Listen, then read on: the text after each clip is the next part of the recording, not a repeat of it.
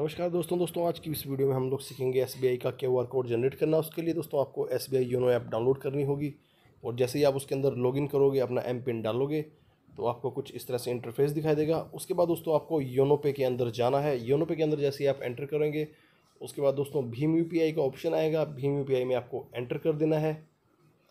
और जैसे ही आप भीम यूपीआई में एंटर करोगे, उसके बाद दोस्तों देखिए, आपको दिखाई देगा जनरेट क्यू आर कोड तो दोस्तों, यहाँ से आप अपना क्यू आर कोड जनरेट करेंगे। फ़िलहाल मैंने जो कोड जनरेट किया है, इसको थोड़ा ब्लर कर रखा है ताकि कोई मुझे पेमेंट ना भेजे। तो इस तरह से दोस्तों, आप क्यू आर कोड जनरेट करके कहीं भी अपनी शॉप पे या किसी को भी भेज सकते हैं तो कोई भी व्यक्ति इसको स्कैन करके डायरेक्ट आपको खाते में आपके पेमेंट दे सकते हैं। अब दोस्तों, हम देखते हैं कि ये काम भी करता है कि नहीं। मैं पेटीएम से इसी कोड के थ्रू पेमेंट करके देखता हूँ अपने खाते में। मैंने दूसरे फ़ोन में भेज दिया ये कोड और जैसे ही मैं स्कैन करके इसको पे करूँगा, ये देखिए दोस्तों, मैंने स्कैन कर लिया और मेरा नाम और यू पी आई दिख रही है। और अब मैं पाँच रुपये भेज कर देखता हूँ।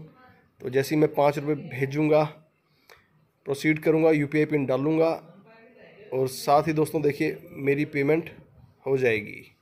देखिए पेमेंट सक्सेसफुल हो गई है और एस बी आई के खाते में मेरे पाँच रुपये आ चुके हैं। उसका मैसेज देखो देखो दोस्तों, आ चुका है। तो दोस्तों, वीडियो मेरी पसंद आएगी वीडियो को लाइक करना। जो मेरे सब्सक्राइबर नहीं है, चैनल को सब्सक्राइब करना। दोस्तों, बिना किसी फालतू बकवास के हम आपको मेन कंटेंट दिखाते हैं।